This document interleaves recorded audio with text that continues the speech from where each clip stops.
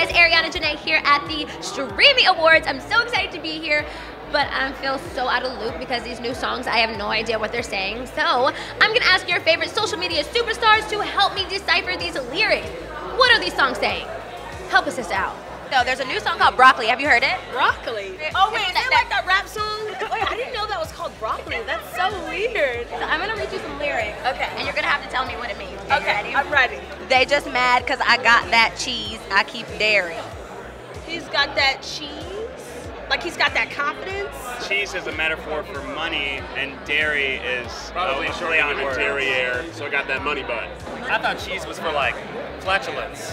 Starboy by the Weeknd. He says P1 cleaner than your church shoes. Ah, what does that mean?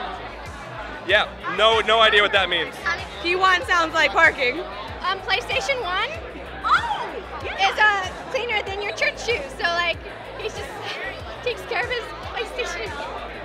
I don't know, man. The Weeknd gotta he making me do work on the weekdays. Controlla by Drake. Can you read that for me from you? From your tickets fee, Biden me willing for pay. Those are lyrics in a song? It's like the YouTube comments because no one knows how to spell on YouTube. I'll buy your tickets, and I'm willing to pay. Maybe it has to do with like if someone will, if someone's concert's gonna be good, he'll go to them. If you have tickets to buy, then I'm willing to pay. He's trying to buy tickets for you, from you. I think it's when someone buys you tickets to a show. Drake doesn't need to pay for a concert ticket. It means if you're willing to date me, I'll fly you out to kick it and go to Cheesecake.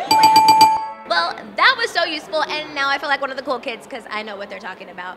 Make sure to subscribe to Awesomes TV for more, and I'll see you guys next time. Bye!